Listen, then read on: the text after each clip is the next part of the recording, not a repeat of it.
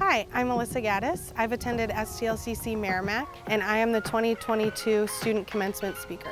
A couple fun facts about me are that I love to read. My favorite book right now is Verity and I'm very involved with my church and in the summers I love to volunteer as a camp counselor.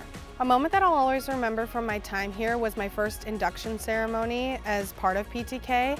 Um, I got to speak as one of the officer members. I was VP of Communications at the time, and being able to be in person and look out and see all of the students that were just like me was a really, really incredible experience. I feel really lucky that St. Louis Community College has given me the opportunity to have a second chance to reach my academic goals.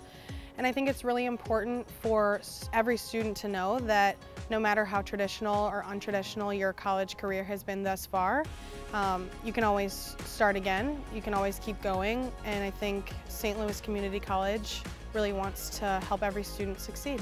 Having the opportunity to represent my class as the student speaker this year is probably one of the biggest accomplishments for me thus far. I think that everybody goes through things in their own life. Everybody has their own story. Sometimes it might be easy to think that you're alone in those adventures or traumas or whatever is in your past.